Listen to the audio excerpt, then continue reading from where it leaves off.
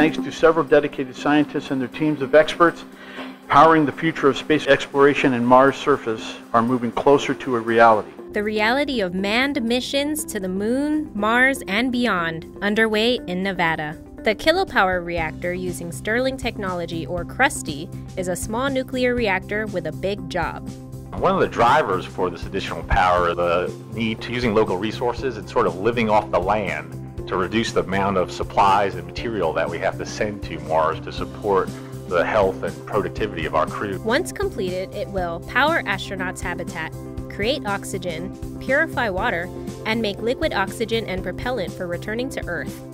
As a former astronaut, I can assure you that having reliable power sources is critical when venturing away from low Earth orbit. The first phase in the Krusty experiment was completed at the NNSS. A news conference in Las Vegas provided an update on the experiment. Experts from NASA's headquarters and Glenn Research Center, along with Los Alamos, NNSA, and the Nevada National Security Site, gathered to share their success so far.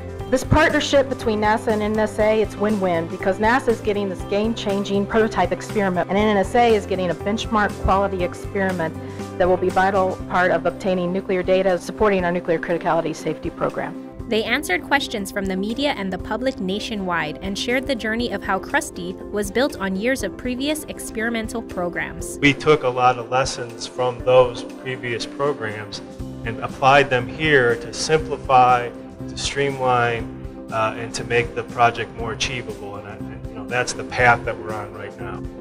Those programs had limited success in the sense that they, they didn't get to a reactor test, they didn't get to flight. We started to look at reactor systems that were smaller. Uh, we desired simplicity above all. We chose test places such as the NNSS where we had available infrastructure that we didn't have to go build new facilities. There hasn't been any tangible progress in fission reactor technology in decades.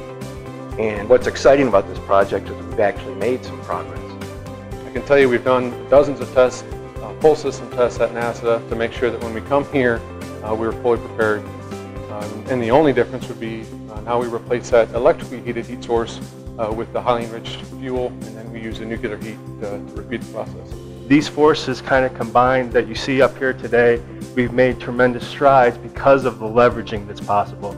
But it would have tremendous impact in terms of enabling missions that really aren't achievable with some of the other available technologies.